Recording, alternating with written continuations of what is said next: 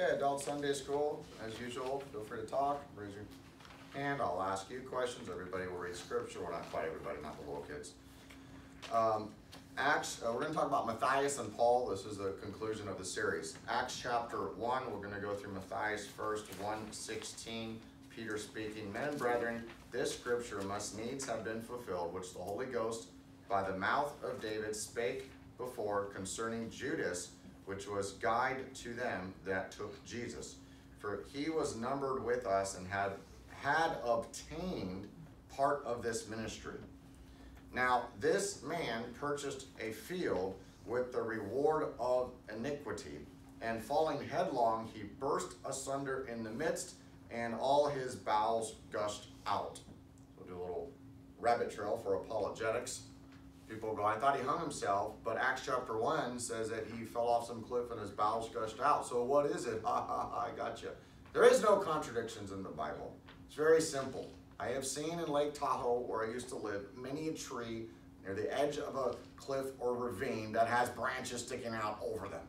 So he simply was up on there and he hung himself on that branch, but it was near that edge or over the edge possibly. And at some point the branch broke and he fell down and his bowels gushed out. And um, that's exactly how it happened. So they're both true. Uh, 19. And it was known unto all the dwellers at Jerusalem. That's a great testimony. Everybody knew. That guy that turned into King Jesus, the Messiah, he's dead, killed himself. His blood, the field of blood is still there with the 30 pieces of silver. Everybody knew it. I think that's great all the dwellers at Jerusalem.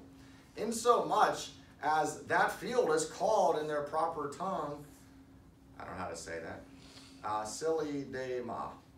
That is to say, the field of blood. For it is written in the book of Psalms, Let his habitation be desolate, and that no man dwell therein, and his bishopric let another take. A couple things there. Um, where there's graveyards, you cannot build. So the Muslims have copied that. So they put graveyards in different spots so people can't build. Uh, but it is biblical, and that is why when you read about Josiah, uh, it, he, he literally, that's why he took the bones. That's why he took the ashes. He said, I'm not only to destroy them completely and everything else, and then other times there was a no-name prophet that prophesied what would happen, and he said, no, you leave his sepulchre, you leave his bones there, so no one can ever build there. And so, you know, for saints, you are to respect the graveyards. Uh, like if, if I knew for 100% fact that dumb graveyard over there was 100% sinners, I would play football on it or soccer with my girls. If I, because I don't respect the dead that are that are sinners. The, the issue is there's a high chance with a, how strong Christianity was in America before that um, that um, you know a percentage of those are my brothers and sisters in heaven, are not to desecrate their graves and play soccer on top of it. I, I could at a Muslim uh, funeral, at a Muslim uh, funeral, I'd have to ask the Muslim director, is this graveyard only filled with Muslims? And they say, yes, sir, that's our, our rule. I say, great. You guys are closed what day? Soccer! I don't want to get arrested over that. But technically you can. You're, Jesus said, let the dead bury the dead. And so um, there would be certain places in theonomy that would not be rebuilt. And if you want a place not rebuilt, you just bury one Christian there, mm -hmm. right in the center. It's the whole, nope, that's a Christian graveyard. Can't touch it. That's it. And second point here is let his bishopric take, an, uh, let another take.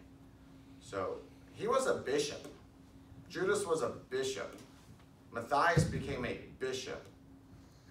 So was every apostle a bishop? Was every other 12? Yes. Yes. And what is a bishop? Pastor.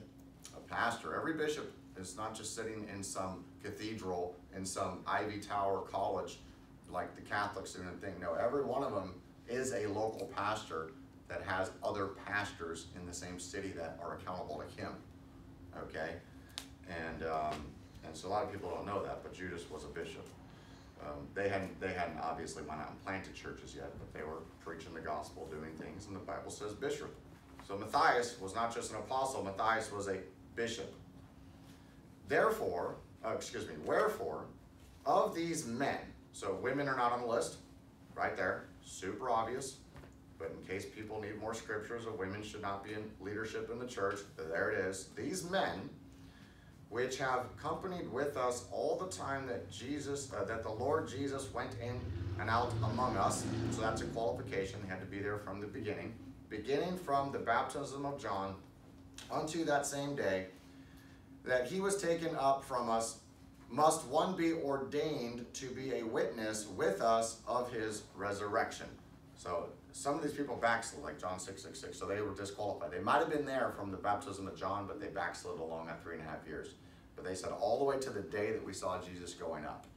And there was 120 that saw him go up.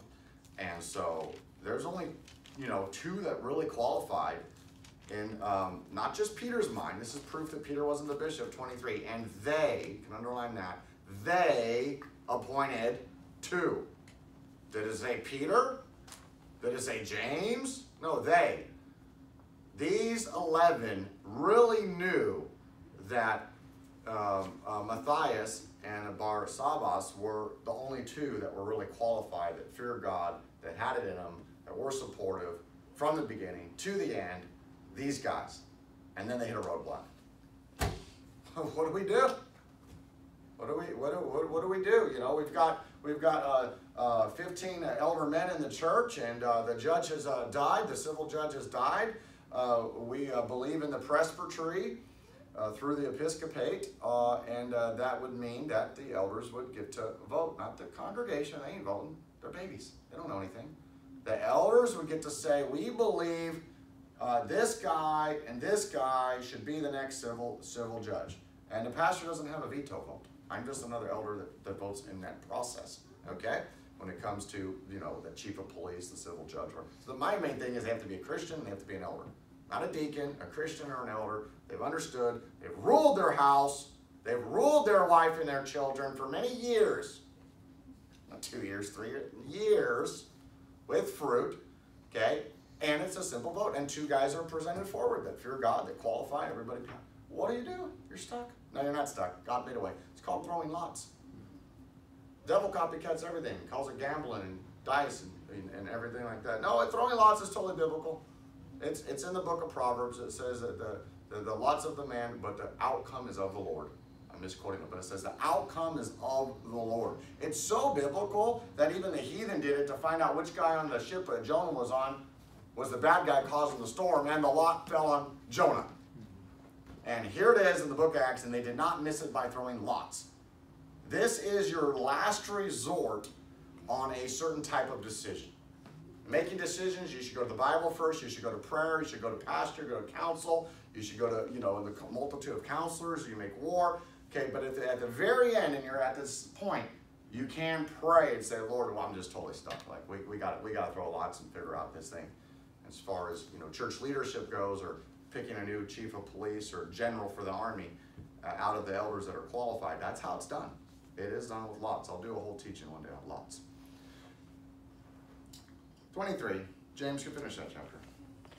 And they appointed two joseph called barsabbas who was surnamed Justus, and matthias and they prayed and said thou lord which knowest the hearts of all men shew whether of these two thou hast chosen 25 that he may take part of this ministry and apostleship from which Judas by transgression fell, and he might go into his own place.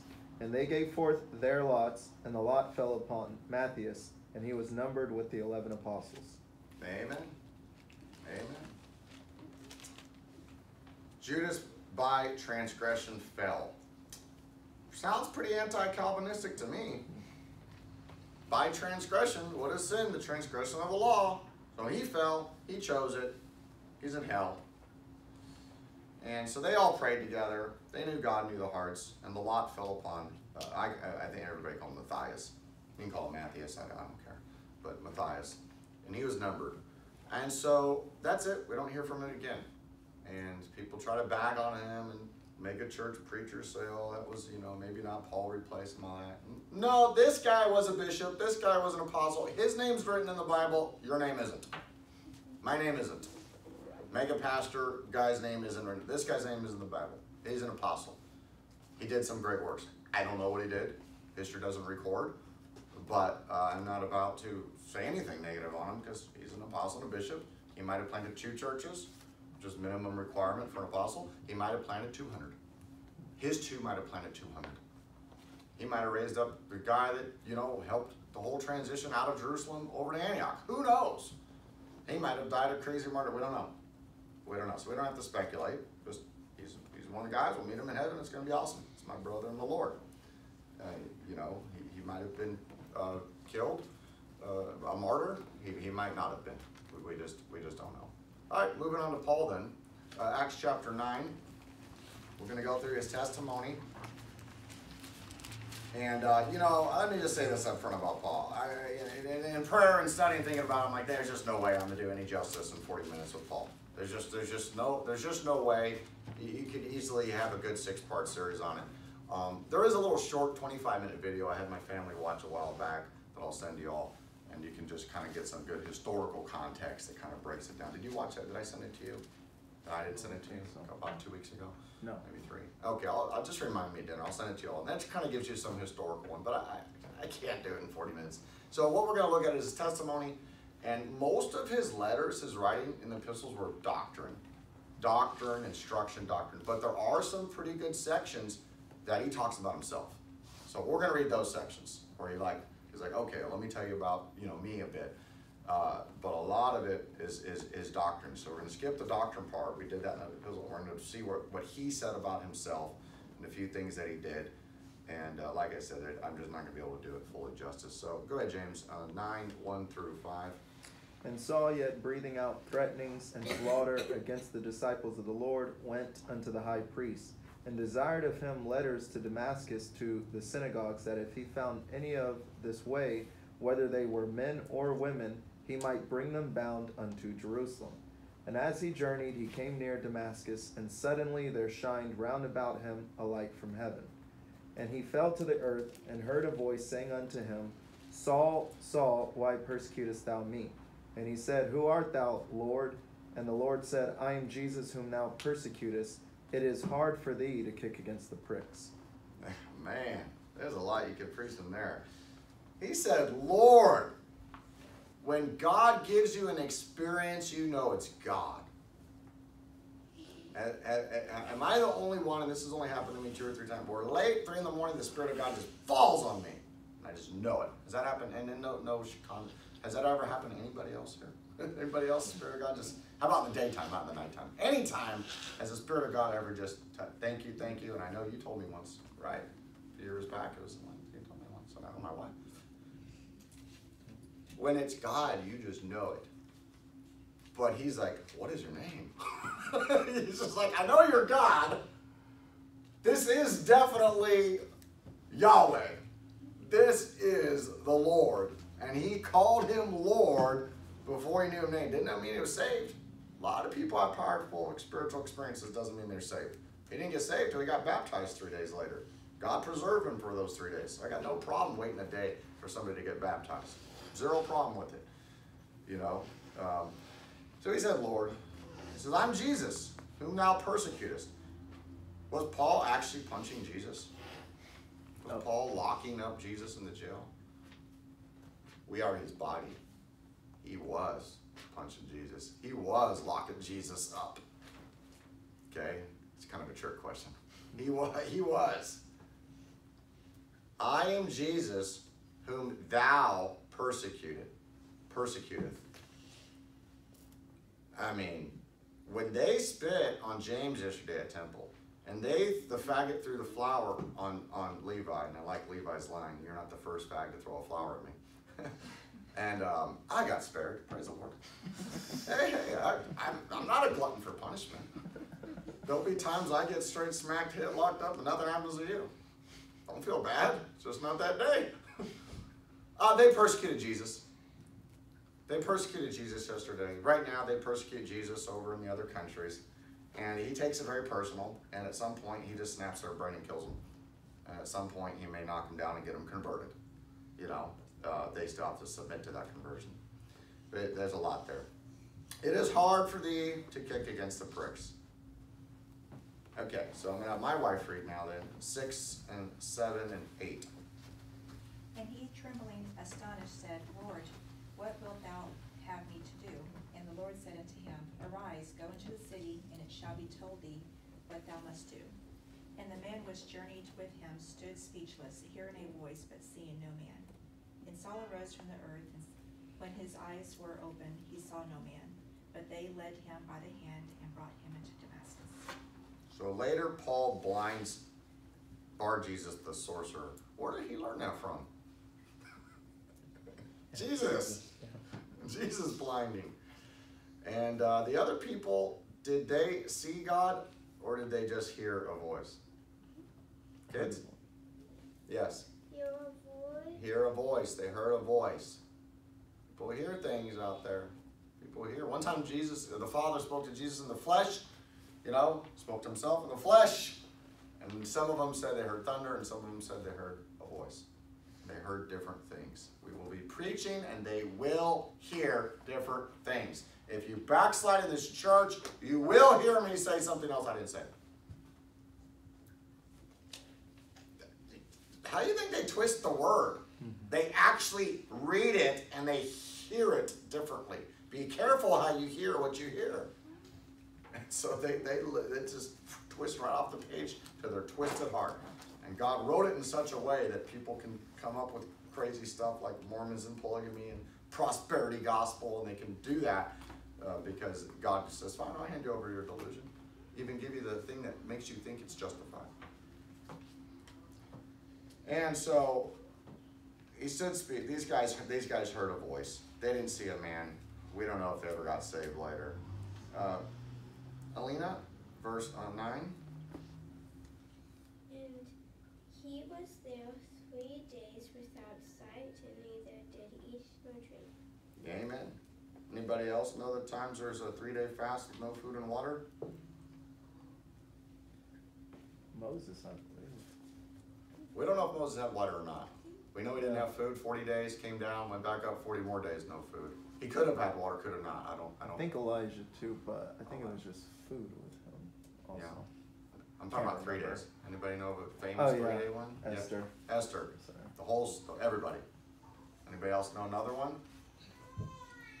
You got it. Go ahead. And say. it. What, what, you, you told me the other day, and I literally cannot remember, but I remember yours. There's Nineveh. Another one, yes, that's what it was. The was. heathen fasted. Yes.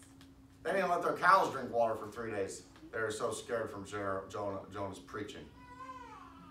They're just freaking out, and so, you know, so that's a, that's he he knew he knew the story of Jonah and Nineveh.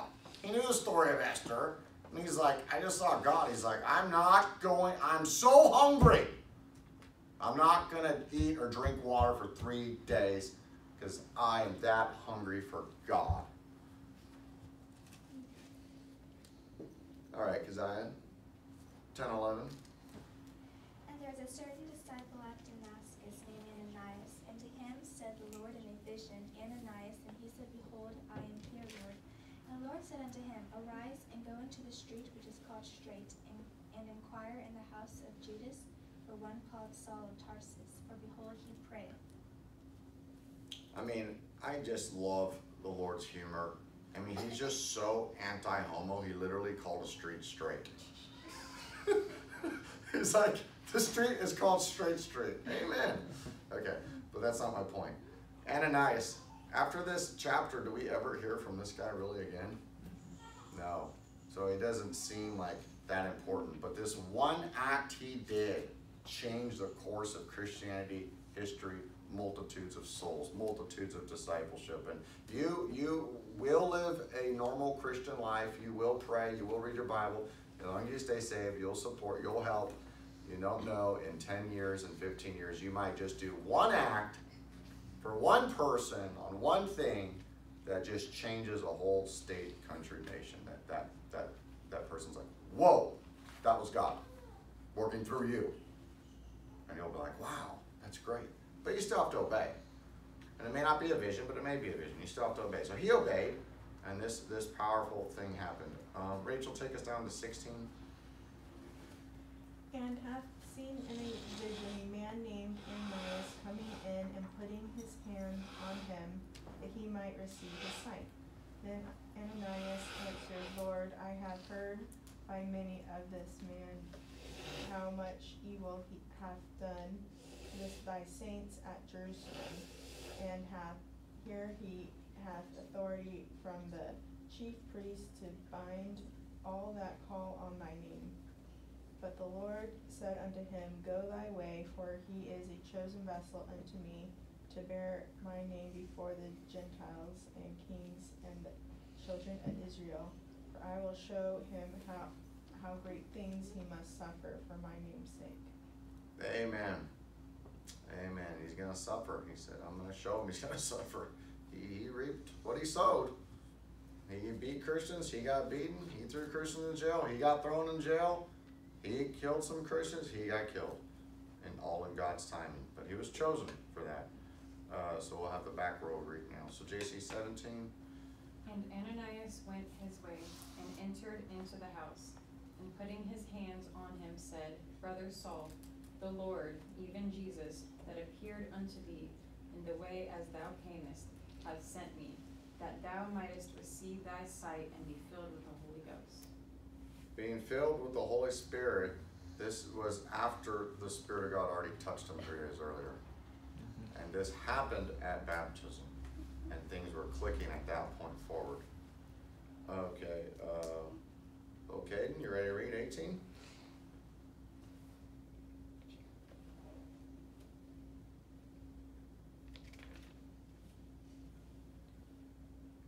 Nice and loud.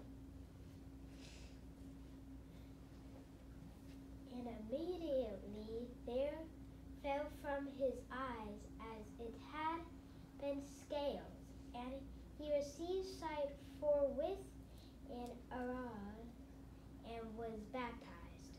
Amen.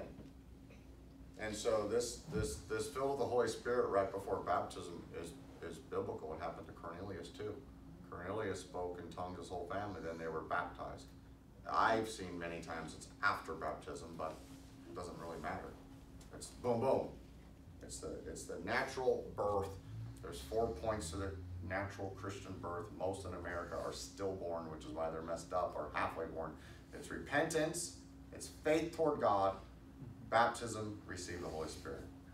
Okay? So if they put off their baptism a few years, or they put off asking the Holy Spirit to fill them, or they put off, of course, repentance, they're not even starting, you know, faith in Jesus. So that's this is the natural flow. He went through it very quickly. Uh, Brother Levi, take us to verse 20. And when he had received meat, he was strengthened. Then was Saul certain days with the disciples which were at Damascus. And straightway he preached Christ in the synagogues, that he is the Son of God. Amen. Right off the bat, he's a few days with the disciples. I don't know if he came into town Monday or Friday or whatever, but that Saturday hit, he's going and preaching at the synagogues. He's preaching it quick, and it was such good preaching they wanted to kill him. And that's how you know it's good preaching. And they would have wanted to kill us the other day if the cops weren't there. I mean, they say it. They're like, if these cops aren't here, we'd kill you. I mean, they, they say, which of course, we're not just lay there and let it happen. We'd probably end up hurting them very bad, uh, which is fine with me. Um, you know, but uh, that's that's that's good preaching. So that's what he did. All right, let's go to 1 Corinthians chapter 9. And uh, just kind of look at a little bit of what Paul himself said. There's a lot of it's doctrine, but we're going to see what he said here. So 1 Corinthians, uh, still you, Levi, 9 25 to 27.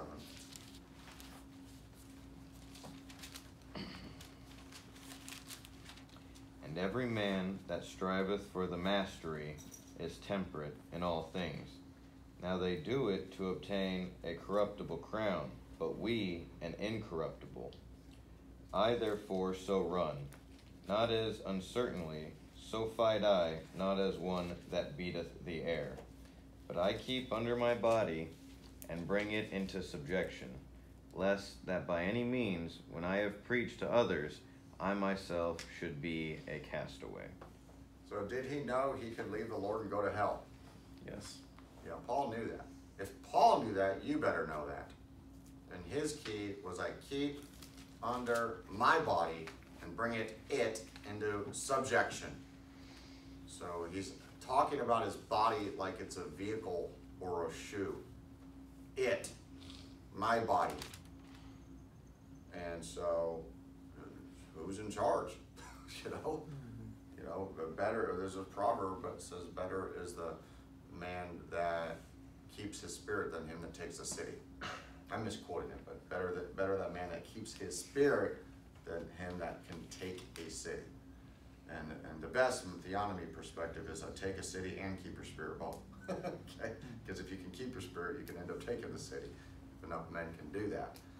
And um, the guy that beat beateth the air reminds me of the softball preacher.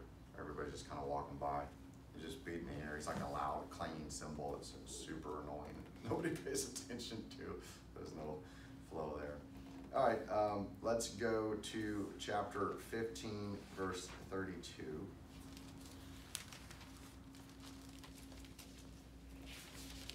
Uh, James, What was it again?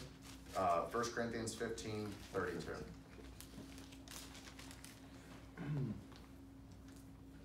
If after the manner of men I have fought with beasts at Ephesus, what advantageth it me if the dead rise not? Let us eat and drink, for tomorrow we die. If after the men I fought with beasts. so does this sound like he did all night prayer meeting, praying in tongues and fasting? No, it says after the manner of men.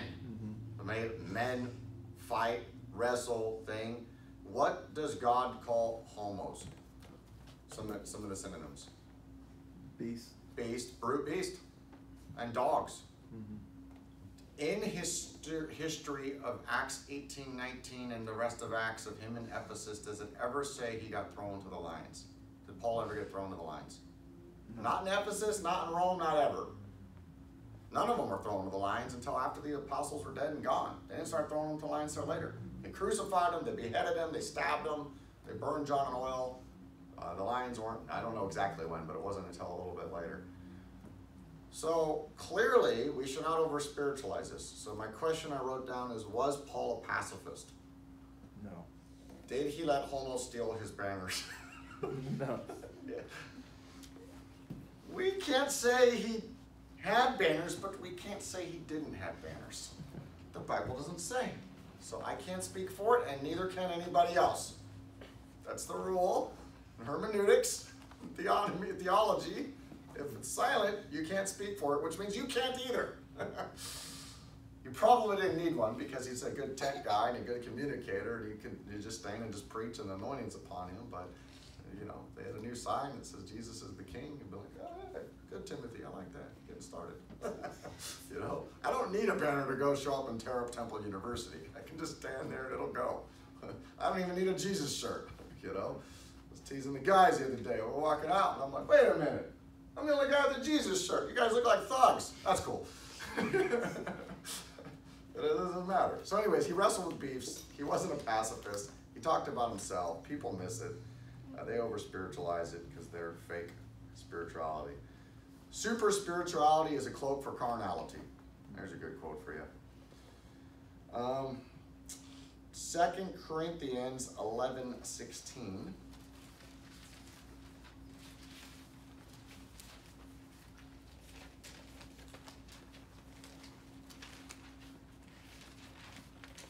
And uh, he's, he's going to, um, the context here in the beginning, I'll just go ahead and read and I'll, I'll tell you. So, James, read from 16 uh, to 21. I say again, let no man think me a fool, if otherwise yet as a fool receive me, that I may boast myself a little.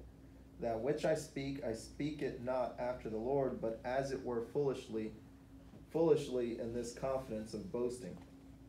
Seeing that as many glory after the flesh, I will glory also. For ye suffer fools gladly, seeing ye yourselves are wise. Verse 20 For ye suffer if a man bring you into bondage, if a man devour you, if a man take of you, if a man exalt himself, if a man smite you on the face. I speak as concerning reproach as though we had been weak. Howbeit, wherein soever any is bold, I speak foolishly. I am bold also.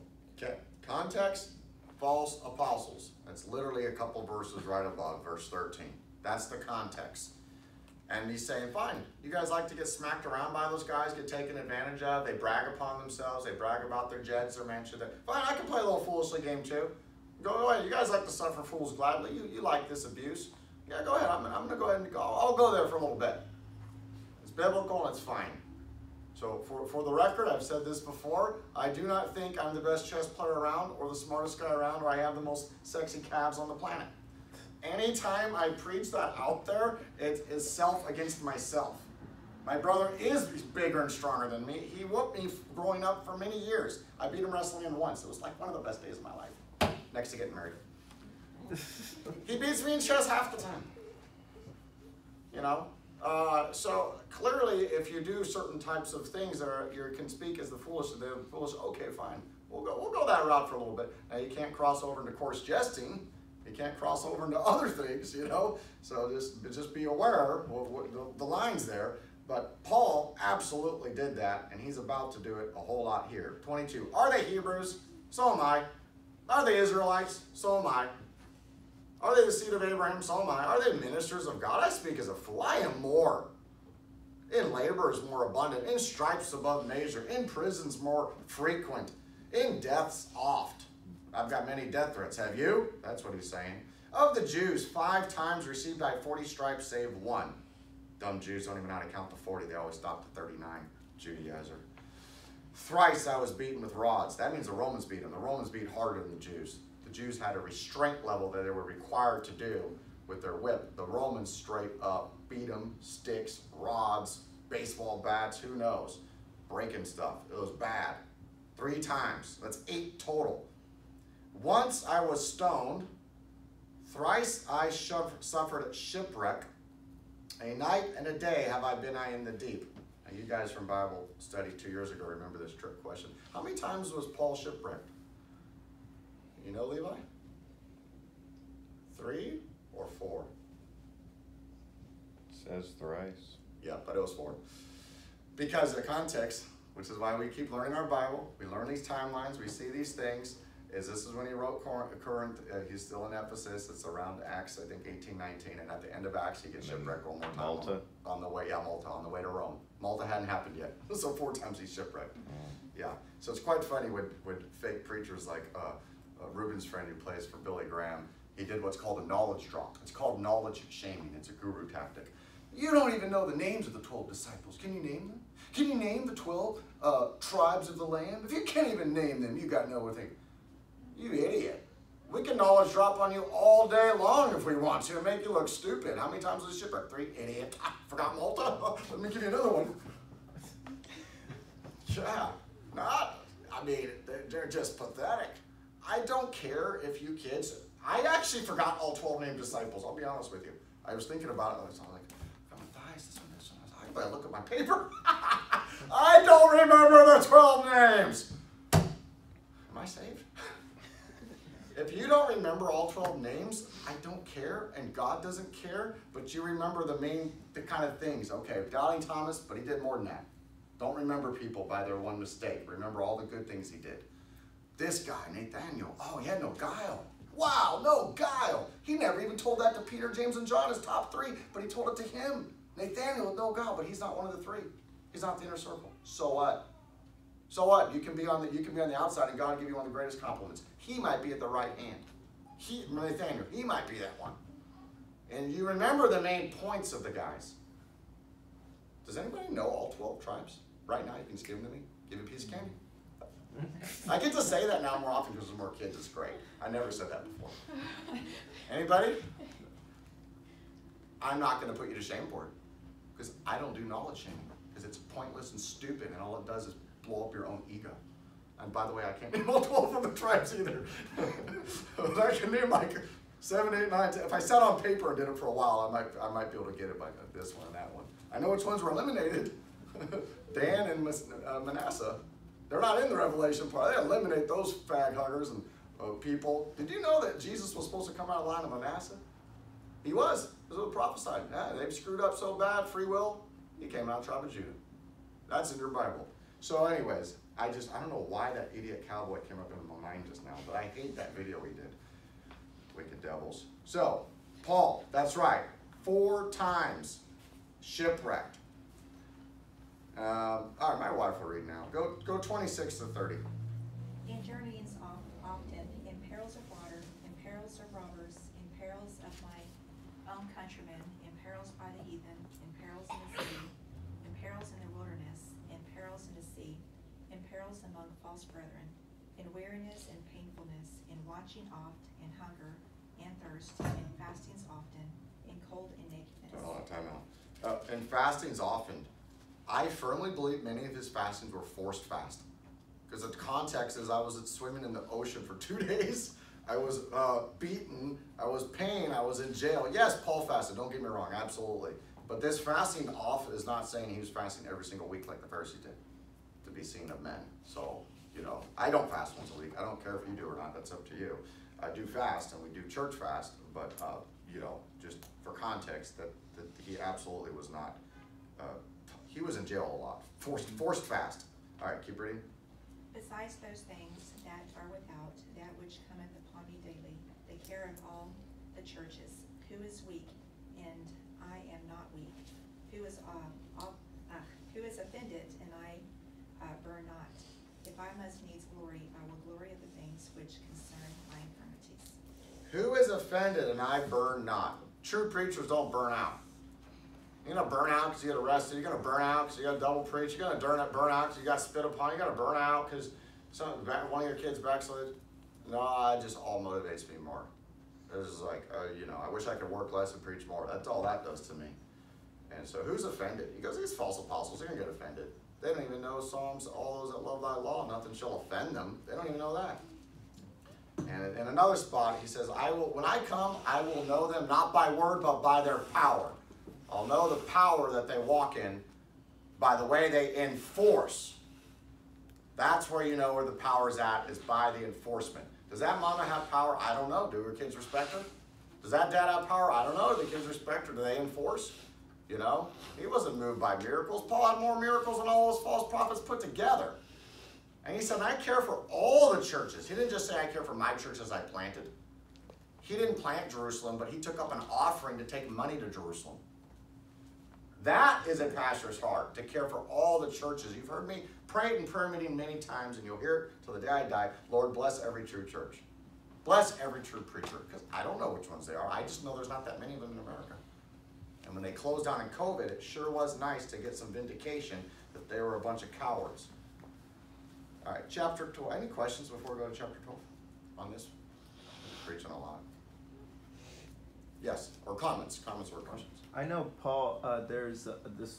Paul gives his testimony again in the same story that we read in Acts, talking about when the Lord met him on the road. Yes. Uh, it was different. There were some things that were different about what other people saw during Yeah. that time. Like some, I think it does say some saw uh, or heard thunder, others heard a voice, or some saw light, some didn't, or something like that. Which backs up what you were saying too. How some people are going to hear some things and others. Yeah, some, else. some, some might have saw a light from heaven, or some might have, yeah, they, they perceived it differently, based on their level of sin in their life, is what I think. You know, I mean, that's why reprobates say things like, you threatened to murder me. You know? By the way, you want a preacher test, if you wanna know if someone's reprobate, if they ever say to you, and this happens to me at least two or three times a year, they say, you are full of the devil. If they say you are full of the devil, that guy's a reprobate. It's very simple, very simple one. Because literally, we're full of Jesus, and Jesus, in the context of the reprobate and be forgiven, he just did a miracle. Not even in the name of Jesus, he is Jesus, he just does the miracle. They get then then they said, You did a miracle by Beelzebub. And then he says, Oh, you can blaspheme the Father and blaspheme the Son, blaspheme the Holy Spirit. You know, my spirit that does that miracle, uh, you never hope, you never be saved. You know, and so the people that say that, they're reprobates. You know, so I, I treat them like I treat a homo. When, when, when somebody says it, not just to me, when they say it to anyone of us preaching, you are full. Not like you're influenced by the devil or you guys have a bad spirit. They literally look at you and they say, You are full of the devil. You are full of Satan. Half of them are religious and half of them are straight atheists. And they say with full conviction, I say, You can never be saved. You're going to hell. And then in your mind, you need to click. That guy's like a fact. No point in reasoning with them. Don't try to do one on ones with him, Levi. If they ever say that to any of us, no one on ones with that guy. He's reprobate. They're done. Totally biblical. It's in the Bible. Uh, chapter 12, verse 7. This is a really heavy one. Um, Alina, you good to read it? go fast. Before your nose. Okay, 11-7. Uh, sorry, yeah, got 12-7.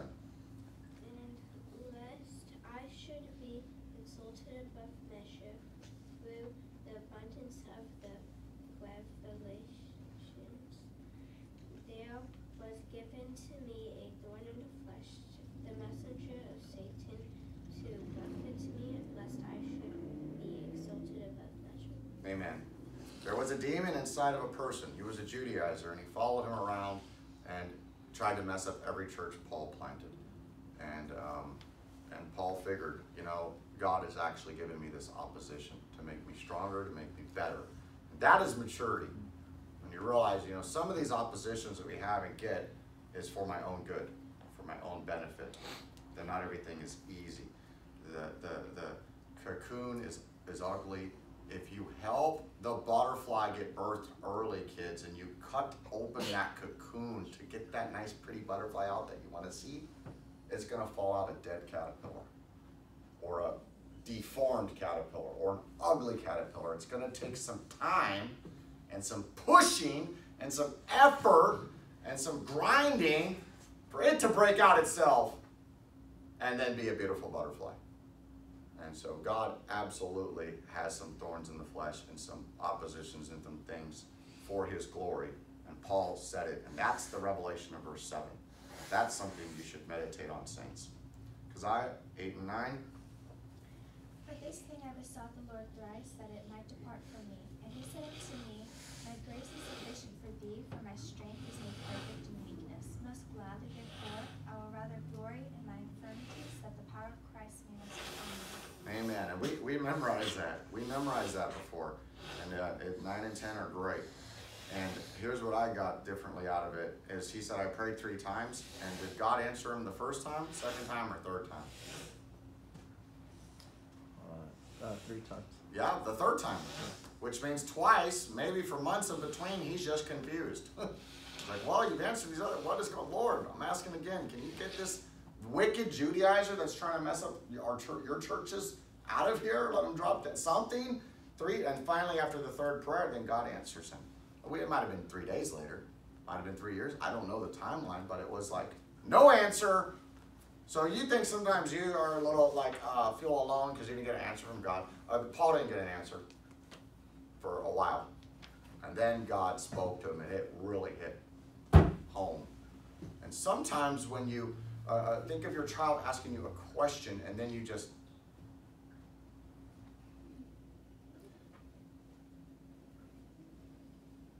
they're going to zone in a little bit more to listen to that answer, right? Paul's asking nothing. Paul's asking nothing. He's asking again, maybe in a fast, maybe the third time, and then God speaks and says, "My grace is sufficient for you, Paul, James, Levi, Mary, Rachel, JC, Keziah. My strength is made perfect in weakness. Most gladly, therefore, will I rather glory in mine infirmities, that the power of Christ may rest upon me." So, God spoke only a sentence, and Paul spoke the rest. God said, My grace is sufficient for thee. Personalize it. Put your name in the Bible right there. You're allowed to at times. For my strength is made perfect in weakness. Then they really should do a new scripture verse there. So you know Paul's talking now. Because now Paul says, Most gladly, therefore, will I rather glory in my infirmities, that the power of Christ may rest upon me. Then one of the most meaty scriptures in the whole Bible, Rachel, verse 10. Therefore I take pleasure in infirmities and reproaches and necessities and persecutions and distresses for Christ's sakes. For when I am weak, then I am strong. And probably the first three years of street preaching, I'm like, oh man, persecution, oh man, I didn't put pleasure in it. you know I mean? But you get to a point, you're like, you just love the hate. And it's like, you got anything else to say to me? you know, give me some more slander. Give me some more. Because God's going to work it all out, and God wins it. There's nothing they can do to stop it. And that's what makes them so mad, because they can't stop it. They can't stop it at all. They can't stop it. Did these scriptures minister to you? Yes. Paul gave this to us for our edification. Very rare did he talk about himself. All right, wrapping up, let's see him rebuke Peter. Galatians 2 4.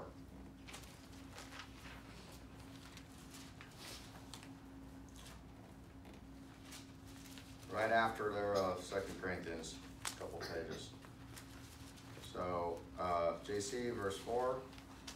And that because of false brethren unawares brought in, who came in privily to spy out our liberty which we have in Christ Jesus, that they might bring us into bondage. And Caden, verse 5. To whom we gave place by subjection, no not for an hour, that, that the truth of the gospel continue with you. Yeah. Wow, I just got something new out of this. I was, I was going to preach to you and tell you, I guess I'll do them both, is that they didn't give space for one hour. So, uh, yeah. I mean, we, we can't get, we maybe give them five minutes, that's fine, I don't know, but you can't give them an hour. we can't, we can't suffer their thing, their madness for these 45 minute dog barking sermons and whatever else. Because sitting there and being silent is being subjected and being under that subjection and that long. And so, you know, I, I, I gave Faggot Cope an extra five minutes to see how much worse he'd dig himself in before I already knew I was going to rebuke him. But I would not let that go for 15 minutes. No way at all. There's a point where it is sub subjection. Um, let me show you an example. I only use my wife. Put down your pen and pretend I'm a stranger. Hi, nice to meet you. That is so good to meet you. I really enjoy your thing. Like, like I'm starting to kind of rub on her hand a little bit. At some point, you are under subjection if you don't pull away. And he said, uh, these Judaizers came in, and we didn't give them place nothing for not even a, not even an hour which is interesting. You didn't say five minutes, and it kind of gives you a little, a little time. But there is a time limit. 60 minutes, that's it. You better do something. You better make your choice. There's your, there's your deadline. But I just got the revelation of the word we. The whole time I'm thinking it's all Paul by himself. All Paul. He showed up. Who did he show up with in this one? I think he had Silas. This one he went back, I think, with Silas and Timothy. Uh, he had two of the guys with him. Amen. So he had, he had a couple brothers with him. We. Uh, all right, uh, Caden, did you just read that? Was that you that just read? All right, so Levi, take us up to verse 12. Uh, from 6. But of these who seem to be somewhat, whatsoever they were, it maketh no matter to me. God accepteth no man's person. For they who seemed to be somewhat in confidence added nothing to me. But contrariwise, when they saw that the gospel of the uncircumcision was committed unto me, as the gospel of the circumcision was unto Peter. For he that wrought effectually in Peter to the apostleship of the circumcision, the same was mighty in me toward the Gentiles. And when James, Cephas, yeah, and John, who seemed to be pillars, perceived the grace that was given unto me, they gave to me and Barnabas the right hands of the fellowship, that we should go unto the heathen, and they unto the circumcision. Just let me pause you real fast. Uh, the, this just more proof that those three were like the main pillars of the church. James, Cephas is Peter, and John. James, John, and Paul. And it says they gave to me and Barnabas. So who decided to finally let this guy that Paul was killing Christians and locking them up? They did not just let him into church right off the bat which is why some people won't have my new address because I will have church there at times. In the deep winter, you don't want to drive 20 minutes in the snow. The congregation didn't make that choice. The elders didn't even make that choice. The pastor, the main pastor, that they they were the ones that finally said, you know what, we we do think Paul has been converted. Sure, let him in. Very important, very important, and especially uh, end times go, and we don't know how it's going to really go down completely, besides Armageddon coming, and then the Lord comes after that. All right, keep reading all the way to um, 12. Only they would that we should remember the poor, the same which I also was forward to do. But when Peter was come to Antioch, I withstood him to the face, because he was to be blamed. To, to you withstood him on the Facebook? Or did he withstand him to the text? To the face. That's where it needs to be. Keep reading. For before that certain came from James, he did eat with the Gentiles. But when they were come, he withdrew and separated himself, fearing them which were of the circumcision. Fearing them. Mighty Peter, fearing men. The fear of man bringeth a snare. He must have been impressed by their intellect, probably by their knowledge shaming. These guys were hardcore Judaizers. And Peter was just an unlearned fisherman. These guys knew the law of God. They knew the Sabbath law. They knew the pork law. They knew the fabric. They knew all this stuff. Peter's like, oh, wow. Oh, wow. It's in there. It is in there. It is in there. Kind of never really occurred to him that Jesus didn't care and didn't teach him that for three years. You know, I showed him these things that he's like showing typology of fulfillment, showing typology of fulfillment, and then he kind of forgot what he actually preached in Acts 2 about all this. But whatever, messed him up, jacked him up. I believe if he didn't repent in five minutes, Peter would have lost his salvation. Fully believe that. But, you know, the Bible says when the righteous are rebuked, it's like an excellent oil of gladness, like excellent. So it's like Paul just, boom! Just like, whoa. Hey, I'm sorry, guys. Let me sit over here and eat with y'all. That's what he did. And he never brought it up once in one of his letters, church history, nothing. No grudge, nothing. He never brought it up one time at all, showing he was a he was a righteous man. He did not leave the Lord, but he was right on that line, and you can't do that for five more minutes. All right, go ahead and just take us all to 16 then.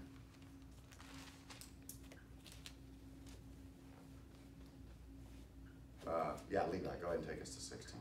And the other Jews dissembled likewise with him, insomuch that Barnabas also was carried away with their dissimulation. But when I saw that they walked not uprightly according to the truth of the gospel, I said unto Peter before them all, If Privately? That, I took him aside? Or in front of everybody? In front of everybody. Thank you. Keep going. If thou, being a Jew, livest after the manner of Gentiles, and not as do the Jews, why compellest thou the Gentiles to live as do the Jews? We who are Jews by nature, and not sinners of the Gentiles, knowing that a man is not justified by the works of the law, but by the faith of Jesus Christ. Even we have believed in Jesus Christ, that we might be justified by the faith of Christ, and not by the works of the law. For by the works of the law shall no flesh be justified. Is that get that ceremonial law trash out. The whole book of Galatians, which is the very first book written in the New Testament. Mark is the second book. The very first book is against Judaism. Judaizers. And he brings up this specific example, shows you. The last book in the Bibles is 1 John, 2nd John, 3rd John, which is against hypergrace, which is against the license of sin. So God just sandwiches those two main issues right there. And so the early church historically had this issue. We, as the latter day church, as the end times, which I believe we're going to have the issue of the hyper grace, and 99% of the fake Christians are hyper grace. But the truth is, Judaizers are hyper grace too. They just don't eat pork and they, you know, think it's Saturday Sabbath and they do other things and what whatnot. It's a, it's a Judaizer spirit. It's not salvation pending. But I'm saying they get to the point where they start dividing the body of Christ over this and pulling preachers and doing these things then that is salvation pending. And, and later, James, in Acts 15, even let them in the meeting, let them all talk, and they were all later all exposed, and over time, all, all of them were rooted, were rooted out. You know, and that's what Hebrews 6 comes into. Said if they were a Jew and they got saved and they apostatized, they can never be saved. That's like slitting the lamb's throat over again, spitting on the blood of Jesus. That is the context of the guy that can never be saved again, the Jews that get saved. Um, before I wrap up, any questions about Galatians 2 or comments? So would Peter have fallen into that if he started to go back to? Yeah. Would it just be? He would have. He would have become a reprobate. Not. Uh, I mean, would it have just been in knowledge at this point where he's like, man, I okay, I'm really considering what you guys are saying. I am separating myself. Um, and yes, I do believe what you're saying, or is it right when he goes to start sacrificing? Then it's like no. Oh no! By the time they sacrifice, him, that's too late. Yeah. You already in the bedroom with the girl. Yeah. It's done then. You're, you're, you're, you're not. You're not. That's not. You know. Not that you should be holding hands for five minutes. you know, yeah. that's not my point. But you've no. They they've been sacrificing. No, he would have left the church. How's he getting communion? What's he gonna do? Take communion underneath them? You know, but these Judaizers are whack. They're super intelligent. These guys are smart, but they add nothing to me.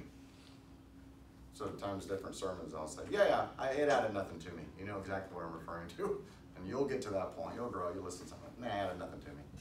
Nah, I don't even want to listen to that guy ever again. They added nothing to me. It- that's that's when you know you're growing. Uh, all right, so in closing, um, he was in jail for two years in Rome, in his own rented house. He got to preach to Nero, who was a reprobate, but he was preaching to everybody in the court and preaching to the civil government. Okay? So, yes, Biden's a reprobate. If I had a chance to preach to him and the people around him, absolutely I would do it. He's not the target, it's the glory of God. And then he um, got free. He may have went to Spain, may not have. May, may have went to Britain, may not have planted churches. We, we don't. The history is very divided on these things. But at some point, he was back in Rome, and um, Nero burned down a third of Rome and blamed it on the Christians. And history knows, even secular history now knows that he started the fire himself. And many of the other people thought he did. And they knew the Christians were feeding the poor. And they didn't like him, but they weren't doing bad things and stuff. And, and he's like, nah, it wasn't them really. But they just knew how crazy Nero was. He was a faggot actor, you know, a bad actor too, but they all complimented him, you know. Killed his own mom, killed his wife, total psychopath. And so he burns down a bunch of Rome, blames it on the Christians. And they're like, who's the leaders? Paul's one of the leaders. Oh, yeah, okay, bring him over here. And then they beheaded him. Why was Paul not crucified like Peter and the others? You know? Tell me. Because he was a Roman citizen. Good job. Don't shame the other kids with the knowledge, though. Knowledge puffeth up, but love edifieth. Good job, because he's a Roman citizen. So he didn't have to. Which leads me to my next point. Could Paul have requested to be crucified? Yeah. Are the Romans like super seductive, sadist? They probably would have. Oh, okay, sure, we'll comply with that. You want it upside down too, like Peter? But did he ask for the cross? No. What does that tell you? Paul, uh, let me ask you, was Paul a glutton for punishment? No. He was not a glutton for punishment. And you shouldn't be a glutton for punishment. Oh, I exercise my First Amendment rights. Of course I'll have the cops work for me and the barricades around me and get more stuff done. Yeah, and if it wasn't there, I'd still preach and I'd get spit on 10 times and beat and hit and this, and I'd have to turn the other cheek a lot because it's a mob and I'd get all that. And I wouldn't even go with a banner and a bullhorn because I already know how rough it's going to be every time. Or a hoodie because they can pull on it. I'd just do a straight sweater style, you know, and just hold that ground and until until I wore them out. And I wouldn't be able to hit 48 campuses. I'd probably have three or four campuses I could do really just because once you beat them down enough, they just find you like that dude's just crazy. But then you get the seekers. We don't be a glutton for punishment. Paul Paul wrestled with the beasts in Ephesus because they weren't cops and they weren't allowed to steal his tents. The only time he submitted in jail is when the civil authorities came and grabbed him and took him.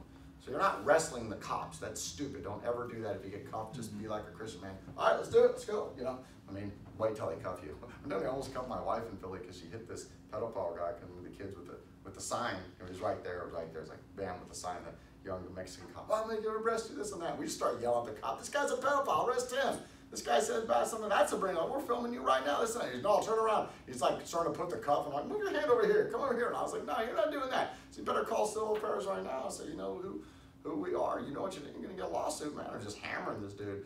And it, it, we were arguing for like five minutes. He was serious about arresting like this. And finally, one of the sergeants came over and knew who we were. They're like, hey, just leave, leave them alone. I said, how long are you guys gonna be here? I'm like, we're leaving in like 20 minutes. Tell your officer the First Amendment, please.